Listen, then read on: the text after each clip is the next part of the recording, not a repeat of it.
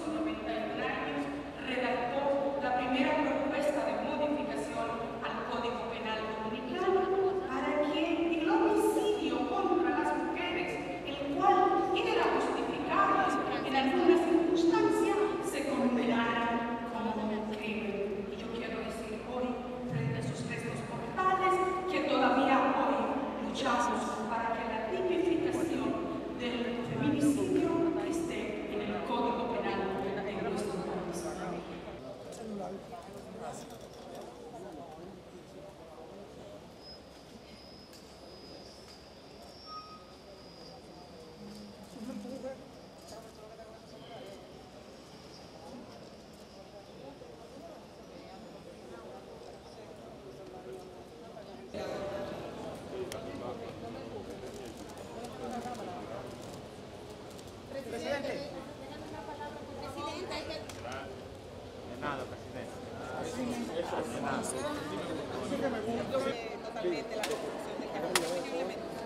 Bueno, eh, nosotros valoramos como positivo el llamado que siempre se ha hecho a la comunidad internacional que venga a dialogar con la situación de Haití. Muchas veces la comunidad internacional no sabe lo que pasa en Haití porque no ha ido, no lo ha visto en territorio. Entonces, es importantísimo que esa comunidad internacional venga a Haití, vaya a Haití, vea de viva voz, de viva mano del pueblo haitiano lo que está pasando. Entonces, sí valoramos positivo ese llamado, sí entendemos que es prudente y sí entendemos que es necesario que tanto la República Dominicana como Haití pues se sienten a debatir este tema, porque como sabemos es imposible para- ni para la República Dominicana ni para Haití mantener una eh, frontera cerrada durante tanto tiempo. Es insostenible a nivel económico, pero también es insostenible a nivel político, porque obviamente compartimos la isla con nuestros hermanos haitianos. Entonces, hay que buscar la solución y la solución puede muy bien venir de la comunidad internacional que abogue y que apoye estos diálogos, tanto de la, de la República Dominicana como de Haití. Rosy, ¿tú crees que ese llamado que hace la, la solicitud que hace la OEA es sincero, es oportuno? Bueno, oportuno lo es, porque estamos ahora mismo en un conflicto. Entonces siempre es oportuno que la comunidad internacional pues se aboque a apoyar los esfuerzos de lograr la estabilidad que requiere Haití. Ahora bien, sincero no lo sabemos. Vamos a verlo eh, en la medida en que, que vemos esas discusiones que se dan, porque desde República Dominicana y tanto la Comisión Ambiental de la UAS como otros estudios, la Comisión también de la ciencia, de la, eh, de la ciencia académica, academia, ha dicho que esa construcción lacera lamentablemente el medio ambiente y que lo que hemos visto desde, la, desde Haití es que ese estudio, eso que se ha hecho, es un- una construcción sin ningún tipo de impacto ambiental y obviamente es normal que haya esos tipos de criterios y que haya este tipo de confusión a la hora de, de abordarlo. Es importante para la mujer lo que ha pasado. Sí, no, No, eso no, tenemos. Y además, hay mucho respeto a las mujeres periodistas también. Bueno, Milagro.